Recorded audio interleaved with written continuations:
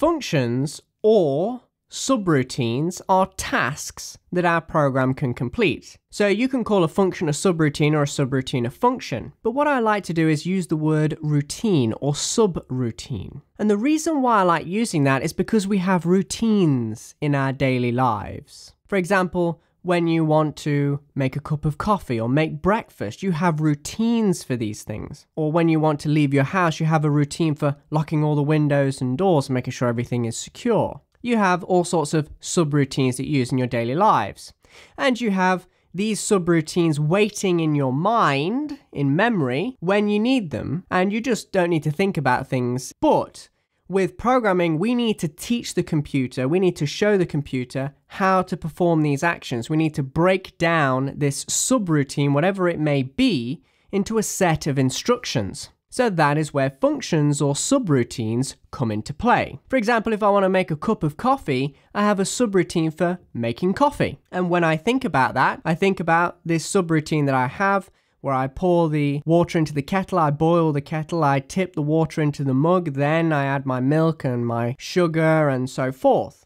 Now, also, when I think about this subroutine of coffee, I think of it as adaptable, changeable. So please do understand that even though I have the abstract, making coffee, well, yes, that's on the abstract layer, meaning it's basic. It's very basic way of looking at something. But the instructions need to adapt. So for example, I have a friend that comes over and says, can you make me some coffee?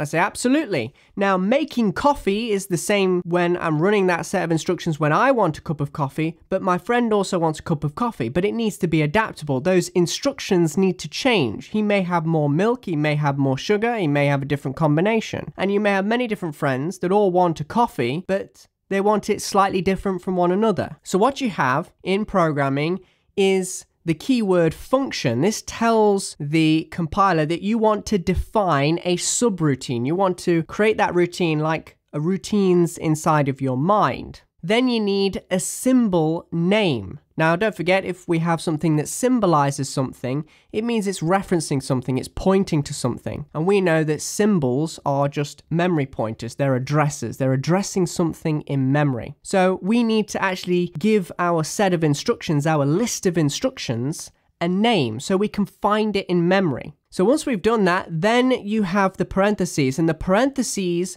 define parameters. Now, parameters are just variables. They're variables that can have values assigned to them when we execute our instructions. And I'll come back to this in just a second. But you can have as many parameters as you like. Then you have your curly brackets or braces, and in between those braces, you have your set of instructions. These instructions are going to complete that routine. So what I'm going to do is I'm going to have a set of instructions and then you can return something. So when my subroutine is finished, I can return the coffee. Just like when my friend says, could you make me a cup of coffee? I go off in the kitchen, I do the subroutine, I complete it, and then I give something back. I return with the cup of coffee. Now, finally, our programs need to be able to invoke these instructions. Now, don't forget, just like in your memory, when we've defined this subroutine, it's just in memory. We haven't actually executed or performed the task yet. All we're doing here is we're defining the execution context. We're defining the instructions to run. However, we are not invoking these instructions until we want to make a cup of coffee. Just like this routine is inside of your mind to make coffee, but it's not actually being executed until you want to make a cup of coffee. So, for example, we call up the symbol name. Now, you know, when something symbolizes something, like an address symbolizes the location to your house. Well, likewise, we have these symbol names, and they allow us to address, point to in memory, our instructions that we have defined. So we can call these instructions up and we can invoke them. And we use the parentheses to do this. Also, you need to pass in the values. So, how much sugar, how much milk, and so forth. These are called arguments. Arguments are values, and parameters are the empty boxes or variables waiting to store the data. And then we can use this data in the execution of our instructions. It makes it adaptable so that I don't have to write every subroutine out there for different combinations. For example, you've got maybe different amounts of sugar and maybe no milk, or maybe milk and sugar. What happens then? Do I have to write a subroutine for everyone? No, because I can pass in arguments, values for each instruction that I want to run, for each cup of coffee I want to make. Therefore, my instructions are adaptable. And that means that I can just write one subroutine that adapts depending on the coffee that I am making. So that's what we have here. We have a subroutine and we have it adaptable by the parameters and the arguments that are placed inside of the parameters. They're just variables. And then once we have finished executing our instructions, we can return. You can, if you want to, you don't have to, return an output after all the computation is finished. And also, what happens to the parameters is those empty boxes are deleted out of memory. Think of it like we're putting it in the warehouse, but the warehouse needs to be cleaned every now and again. And what we want to do is we want to take these parameters, these variables, and we just want to throw them away. We want to get rid of them in memory. We want to clean the warehouse because we don't want these anymore. We only want the parameters when we're executing the context. Otherwise, what happens is we will fill up memory and we'll be wasting memory because we need to run this subroutine over and over and over again for each friend. But we don't need to keep on storing these values. Once I've made the coffee, it's done. I don't need to say, right, I remember how much sugar's in there now that I give it. No.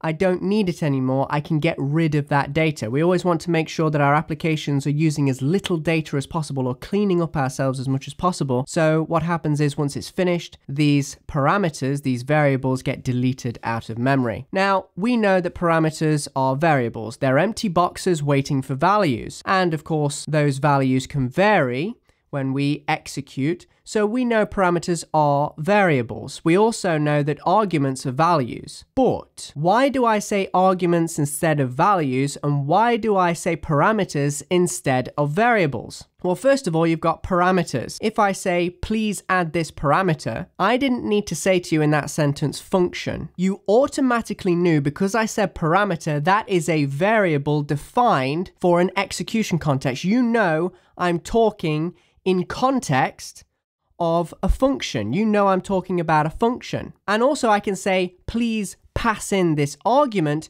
You know I'm talking about a value that needs to be passed in when we're invoking a function. I didn't need to say in that sentence invoke a function, but you knew immediately because I said argument instead of value and parameter instead of variable that I am talking in context of a function. I'm referring to, pointing to a function. And that is why we don't say variables and values, we say parameters and arguments.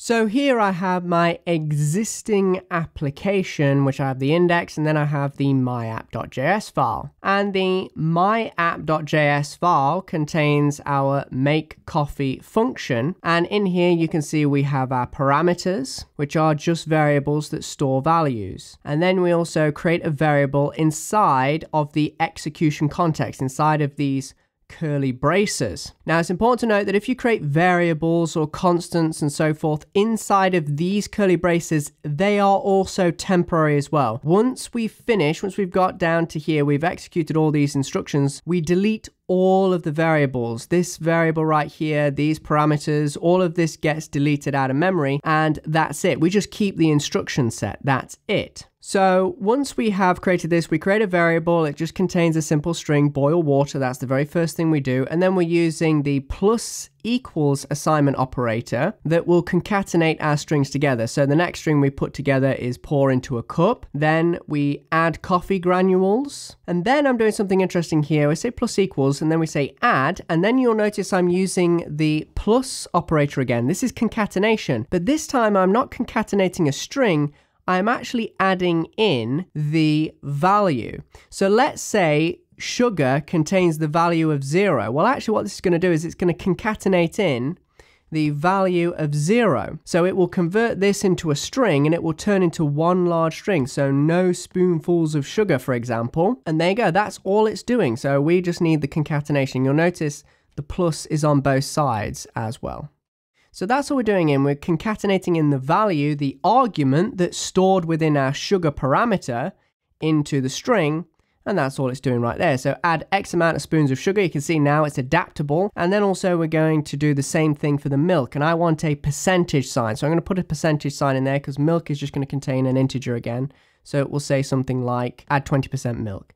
And that's it. That's all it's going to do. So once we've done this, we return the entire string, all of these little pieces that make up our string, our instruction set, we'll return this entire string by returning this variable, the instructions variable. Now don't forget, this variable will be deleted after we have finished executing, but the output, the actual string, will be returned, and we can do whatever we want with this string once we have returned it.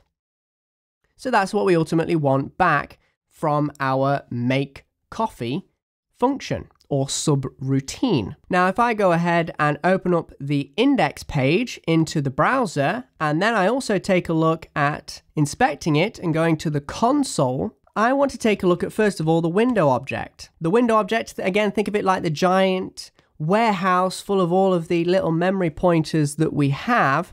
And you'll actually notice that if I was to scroll right down and we keep going, we do have a memory pointer in here for make coffee. There it is. Make coffee is a symbol. It's symbolizing, meaning it's like an address. It's pointing to our instructions in memory, and it is, in fact, a function. So we've got make coffee. There is our instruction set, and now we can invoke this. Now, if I was to just invoke it within my script, so if I was to say make coffee, and then I was to say, right, pass in two sugars and we want 20% milk for my good friend here. And I was to go ahead and save this.